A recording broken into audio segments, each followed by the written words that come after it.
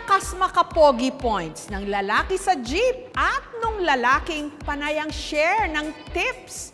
Ang viral pogi ngayon, ang kwento ng binatang ito na ipinagmamalaking gumwapo raw siya kahit hindi siya niretoke Noong high school, Lagi nila akong pinagkakasahan sa school. Lagi nila akong ginagawang escort. Kahit naman ayaw ko kasi nga ayaw kong masyadong halata na pogi ako. So, wala akong magawa.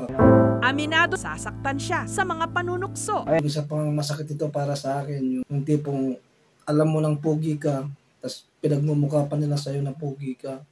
Kaya napakasakit talaga, napakasakit. Payo ko dyan sa mga nagbabalak na maging pogi. Pag-isipan nyo muna kasi baka hindi nyo alam, akala nyo biyaya, yung pala parusa. Ang isa pang nagpapahirap sa akin, minsan nawawalan na ako ng privacy. Kahit saan ako magpunta, laging may nakasunod. At saka nahirapan na ako kasi nga, lagi nila akong naasar na, ay pogi, sana all, sana all cute. Lagi nila akong tinutoksong ganun. Nagka-love life naman daw siya pero hindi nagtagal. nagkaroon ako ng karelasyon, isang celebrity. Kaso, ano, hindi nagtagal ng aming relasyon kasi ang lagi ako pinagsiselusan kasi pagka naalis ako, ang dami nagpapapicture sa akin, ang dami nagpapa-autograph, saka ang dami nagtatanong kung sino ba ako. Kaya, hindi rin nagtagal ang aming relasyon. Gusto kong mamuhay ng normal, yung katulad ng mga simpleng gwapo lang. Matapos ang ilang taong pagpapapogi, ito na, nanirahan ako dun sa province namin sa United States of America. Kaso nga lang, hindi rin naging ganun kaganda yung aking naging buhay doon bilang isang napakatinding pogi. Ah, kasi marami din ako mga naging relasyon doon. Ito sila.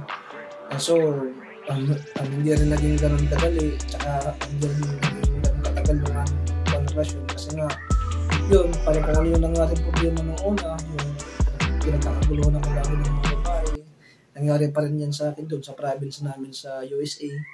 Kaya yun, pamuhin lang ako dito sa Pilipinas at gusto kong mamuhay ng normal. sumasali na rin siya ngayon sa mga pageant at nagmomodelo pa. Bali, nagkaroon ako ng mga achievement, nalo ako sa mga contest. Kumikita na rin ako bilang isang brand ambassador. Dahil sa kanyang sipag at determinasyon, higit pa raw sa pangangatawan ang nabago niya, pati na ang kanilang pamumuhay.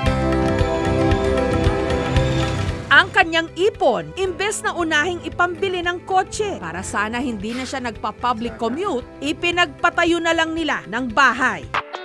yung ano, magiging ano, bagong computer shop. Tiles